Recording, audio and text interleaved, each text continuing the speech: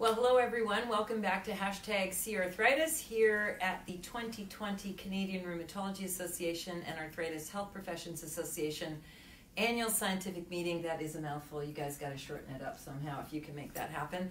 Um, we're really pleased to have uh, you back. It's Cheryl Koehn. I'm a person living with rheumatoid arthritis. I also am blessed to lead arthritis consumer experts. And we host this event, of course, with the Canadian Spondylitis Association and the Arthritis Patient Advisory Board of Arthritis Research Canada. It gives me great, if this looks like double your pleasure, double your fun, it is. Um, these are the very famous uh, doctors um, Kam and Nima Shojania. Uh, they are both rheumatologists practicing here in our beautiful province of British Columbia. And I thank you very much, docs, for joining me. I know that I tore you out of the poster session. Um, but hopefully we'll, we'll uh, have a, a, quick, some words of wisdom from you, and then you can go back to the learning process. But so welcome. Thank you. You're welcome. Um, so I guess I'm going to start with you, Kam, because you're on my immediate left. I'm older. And you're older, yeah. much. Um, much, he says. Oh, I tell you, the fun's the beginning. Um, so, Dr. Shojania, may I call you Kam? Yes. May I call you please. Nima? Yes. May I call you Nima? no, okay, kidding. Um, so you both really focus on um, practice of rheumatology. You both have fairly robust clinical practices. You also do many other things for your own rheumatology community. I know Kam, you run training program. You run. You're the head of the division of rheumatology at UBC. You're the head of St. Paul's Hospital, VGH, UBC. He's also the king of the world. Um, Dr. but- is the program director now. Oh, is the Yeah. program director now. So Dr. Shaheen Jamal is now the program director. Good of you to give up some of that power, Kam. we know each other for a long time, and he suffers my silly humor. Um, uh, but in all seriousness, we're really thrilled you're here. And I think what we really want to know, our audience on Facebook and Twitter Live want to know is um, you've been in practice a while. Mhm. You have a lot of patients. You've been seeing following inflammatory arthritis patients and, and many others in SARDS and whatnot for years now. What have you seen change in terms of patient care and how you actually teach doctors, rheumatologists like yourselves, to care for those patients? What have you seen sort of tracking together patient rheumatology and the changes? I think the traditional model of teaching, lectures, uh, small group teaching is is really changing. We use um, our patients help us teach. We our nurses help us teach. We have um, uh, different models of teaching using uh, electronic resources. Yeah. Um, the traditional apprenticeship model we use still too. So, but I think the biggest thing is our trainees are just so good now. Oh. They we they're chosen. Unlike you when a- you were training, well, right? They you, when we were training, they chose you for your marks uh, only, and uh, and now they train people for marks, but also for um, their collaboration, their Nice. their communication. They choose them from a variety of backgrounds now. So I think the quality of the new doctors is is just so good. So that resonates in me. I mean, when you look at sort of modernity in medicine, I think being human and applying your skill set in a very human, communicative way is, I think, what patients are looking Mhm. for, frankly. They kind of want to know, um, I think, better from their rheumatologist, not just, you know, will these medicines work and will they be safe and effective? They want to talk to you probably about many, many other things. And I know that time constraints probably limit some of that conversation, but that's why now your practices have nurses and Mhm. other arthritis health professionals involved in, in the delivery of care. And I know you've been, he's being very modest, people. He's, you've been a groundbreaker in terms of how those models look today. Um, I know in British Columbia, and, and you've shared that work across the country, so good for you. Look at him, he's going to blush. And uh, Nima, you practice in the interior of the province in West Kelowna. Uh, followed fol- followed in brother's footsteps, That's true. uh, and, and of course far exceeded him now in, in clinical practice. Um, and I know that you're doing a lot of work in what they call in this province in our care delivery system in arthritis, the traveling consultation service, so rural remote Yes. care, telemedicine. Describe some describe your days when you go do that. So yeah, I've been going to Fort St. John and Dawson Creek for uh, since 2002. Dr. Patterson uh, introduced me, and then she said it's the most rewarding part of her practice Wow. because uh, she's, you know, people were really sick, really needed help, couldn't travel, and you know much much more so than uh, in a in a big city. There's we're seeing a lot more minor minor conditions or non-inflammatory conditions. So, Right. so the need is there, Yeah. and so uh, it ends up being six trips a year. Go for a week at a time. And it's very busy, starting at seven in the morning, working to ten in the evening every Oh. day. One small break to have a glass of water. That's about it. Honestly, it's uh, it's, uh, it's grueling, but it is. He's it walking is around so- with a ring, an IV Ringer's pole. Well, honestly, I have to cinch up my belt a few, uh, a few notches at the end of the day, Yeah. actually. But uh, no, it's it's uh, it's, uh, and then uh, we see a lot of people there, but also using uh, telehealth. Uh, so the referrals all get sent to my office for triage purposes. Some of them you do an initial assessment via telehealth, and then you can uh, make some recommendations, and then see the patient promptly in uh, maybe not as long a visit. You do the main visit of taking all the data okay. uh, via telehealth. And, it's- and when you say helpful. that, Nima, when you say telehealth, that's those are consultations with the patient themselves. Yes. Okay, fantastic. Yeah, so it's set them And up and the satisfaction level is still high. I guess I guess what their pressing need is to be heard and seen, even if it's through a digital device. Yeah, and then they still, most of them will get seen physically Okay. and follow up. Some are clearly uh, non-inflammatory, where you just make recommendations on physiotherapy, lifestyle changes, maybe pain medications or other interventions. Yeah. But for the inflammatory patients, you can say, you, you, we recommend you start this medicine or that medicine, or these tests should be done. Send the requisitions down, so everything is set up for their first physical examination or Okay. first rheumatologic physical examination. Okay, so I'm going to turn back to you, um, Kam, and and we had someone here in the booth um, on day one, and um, Marie Clements Baker, and she's very involved in the CBME uh, work that's been going on, which is the sort of the Royal College Mhm. saying we want to do something different here, and it's sort of this way of kind of, um, as I would describe it in lay terms, sort of continual uh, quality improvement in practice and sort of shadowing and coaching and training. Are, is that something that you guys are starting to, to do now? And if so, is it going well? Uh, we just started this year, well, in 2019 we started. Yeah. We uh, changed our program. Yeah. Dr. Shaheen Jamal uh, put so much work into changing around our program. Yeah. It's a competency-based model, so the resident needs to attain a certain competency in, for example, the core knowledge Right. before they are tick that they tick that off, and they can move on to more advanced Okay. steps. So it may take a little longer for someone, or they may be faster, and then they can move on to the next step. So it's uh, very individualized, and uh, I was very proud of the faculty that uh, embraced it. Yeah. said they, uh, Yeah, because sometimes it's hard to Yeah. change sort of what you've been doing for a long time. and it's called competency, competency by design, right? yeah, or competency-based medical education. Yeah. You can use them both. Yeah, fantastic. And you know, I always find I'm old enough to be able to say this. I always find that through educational processes over time, you learn stuff too. Uh, stuff you thought you did know, but then you can, oh, wow, that's kind of cool. So, what for you as a practitioner have you seen in this model change? Like, what have you kind of gone, oh, okay, I could do that better, or I could do that a little differently? I've noticed that the residents are taking more charge of their own education, so they, if they don't know something, they will try to do that more and be evaluated on it. Okay, cool. And you?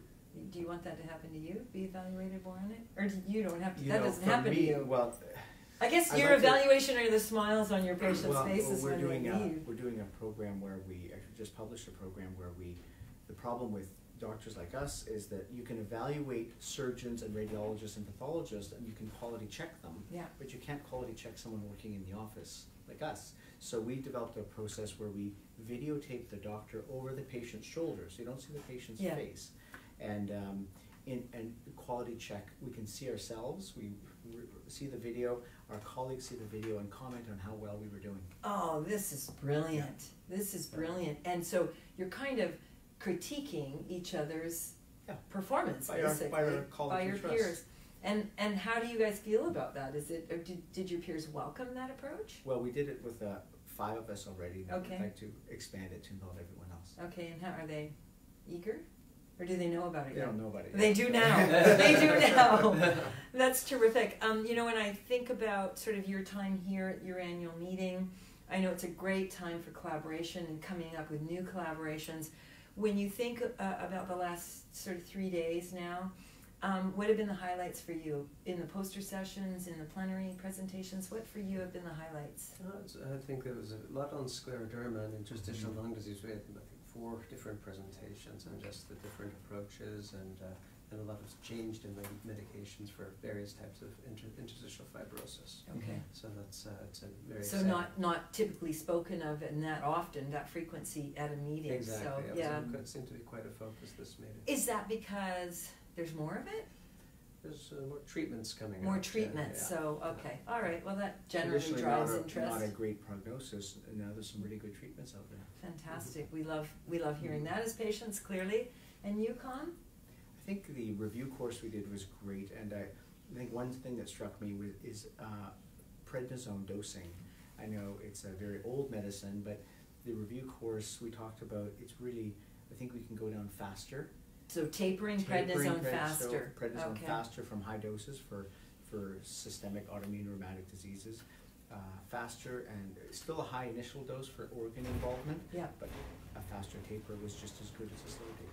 Yeah, so uh, I can tell you that will make patients very happy because, th- of course, it makes them feel great, but they do understand the double-edged sword of prednisone, I think, today better than ever. So this whole notion of tapering, and, and on that note, and before we go to our audience for questions, I'm even gonna uh, toss that, that theme over uh, to biologics. I know at the American College of Rheumatology, we've seen tapering studies now for a few years.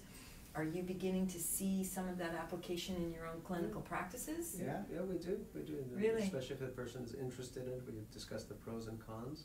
There's always a risk of flare, no matter if you're well controlled or not so well controlled, more so if you're not well controlled, Yeah, or not well controlled for a long time. But, yeah, but everything that's done like that has to be done very slowly and carefully with short-term follow-up. right. That's the, the most important thing. It's always the patient's decision. Of That's the- course. The, the important thing, and but Yeah. we- they should know it, it's, it's an option, Okay. but they have to know the risks and benefits. Okay. But you know, patients were doing this before the studies came Yeah. out anyway. Of course they were. Yeah. You know, we do many Yeah. things Yeah. behind your backs. Yeah, of- often if you Um, discuss it, then you do a pharmanet search and say, you've already been doing it. You just, Yeah, yeah. just want to be okay, aren't you? Yeah, yeah. We can Which tell is in, a, in BC, we can tell, we can go online. Because of the data, we the can see admin the, data, the data, the, yes. the BC Pharmacare yes, data, it's yeah. one click on the EMR. Yeah. But it's only, uh, uh, you have to get you know, it's permission. so much better, and I'm saying this to our friends and followers out there and to our members.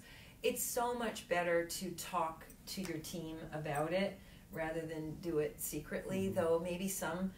Sometimes I think that people are doing it, patients might be scaling back uh, uh, uh, on their own um, without the knowledge of their physician because perhaps they feel their physician isn't going to work with them That's right. and I think there's kind of nothing worse than that is, is being in that in that sort of situation. So um, the goal for patients is always to try to be transparent. And if you don't feel you can be, uh, have someone come into the consultation with you Mhm. Yeah. uh, to talk about something you feel is maybe a bit more difficult uh, topic. But I tell you what, um, patients are all over taking Mhm. less, right? If they can, Yeah. safely and uh, still maintaining really good disease control. So that's sort of cool. One point on that is uh, one thing I always emphasize to my patients is to talk about their treatments as medications rather than drugs. Because Yeah. everyone- And that's, uh, it gives so many uh, different connotations. Yeah. So. Yeah, so I'm- I, I actually at ACE when we write, uh, the only time we w- use the word drugs is if we're paraphrasing um, from a Health Canada Yes. uh, sort of material. Yeah. But we really strongly prefer medications as well, and most patients kind of refer to their drugs, medications as meds. Mhm. Yeah. You know, it's our little cool shorthand uh, for the things we're taking to feel as, as good as we can. Uh, we're going to turn to the audience and see if there are any burning questions, and then we'll throw you out and let- get you back to the posters. In the beginning, when you mentioned triage, what do you mean by that? Trash. Yeah. So that's a process of uh, determining when a person should be seen, how urgently. So some conditions such as systemic vasculitis, uh, early uh, rheumatoid arthritis, those people need to be seen very urgently because tr- uh, appropriate treatment can change the trajectory of the disease. So there's a window of opportunity that we triage people, like, you know, it's either A, B, C, or D, one, two, three, or four, to be seen in a week, you know, tomorrow, one month, two months, and so triage is a, is a process of uh, uh, tiering uh, referrals. Yeah. And, and not dissimilar from what happens in the emergency room. Yeah. You know, if you've Yes. got five people who arrive and uh, somebody has cut their femoral artery, you, you want to deal with it quickly Yeah. Mhm. uh, versus someone who has not that it's you know not bad, but if you have a broken hand, y- Mhm. you can wait. You can maybe receive some pain medication or or ice or whatever. But the person with a femoral artery like blowing up is probably someone you want to deal with right now. I think a Yeah. good doctor, you know, a, a doctor is a good doctor if uh, she or he is triaging their patients. Mm. You know, it's just a one simple step that will be good for your patients. Yeah. It doesn't take long. Yeah. And do you see an all inclusive clinic with physiotherapists, occupational therapists, nurse, and multiple rheumatologists in the future? Sounds like nirvana to me. you know, there are lots of those happening in uh, in in BC. There are not lots. There are some good interdisciplinary. Some are trying their best. Some have added nurses. Some have added physiotherapists. Um, at the Mary Pack Arthritis Program, there is a combined intensive collaborative with all of those plus social work, uh, which is quite good. It's hugely important because we know depression, often underreported uh, and not talked about probably enough, is a big thing in, in these diseases. And one difficulty is that with the vast size of our province, to have that in various centres is difficult, and uh, it's, so it's often in, in the bigger cities. That But through a that. telemedicine model, perhaps Nima, some of that can, can occur, just can't occur in person perhaps, Yeah, right? exactly. So- Yeah, I think it's underused telemedicine. yeah, I think we could do a better job. And with the telemedicine we have today, people are doing it from, they don't have to come into the hospital to go in a small room, they're doing it from their iPads, their telephones, Yeah. their uh, personal computers, so they're from the privacy of their own home, so it's convenient for the patient. Yeah, and I think if you're already immunosuppressed, I have to tell you, I for one am not thrilled about walking through the hospital. Like I kind of want to keep my suppressed autoimmune system somewhere else. Um, so I think there's some great application. It obviously doesn't replace a personal visit with someone highly trained such as yourselves, but um, there are huge applications. Is it going on in other provinces? Like telemedicine is not. s- s- It's not It's not just BC, BC, I know yeah. in Ontario they have a big program, but I'm not sure about other Okay. provinces. Okay. Okay, so no more questions for now, but please keep them coming. We can always get answers to you um, after the fact. Uh, don't forget this interview, uh, w- much to their dismay, perhaps will live on forever, but you'll look young forever, okay? Um, on our YouTube channel, uh, Arthritis Broadcast Network. So we thank you so much for tuning in um, to soak up the knowledge and the experience expertise of Doctors Shojania, Kam, and Nima. Thanks so much for coming. Thank you. Thank Yeah. you.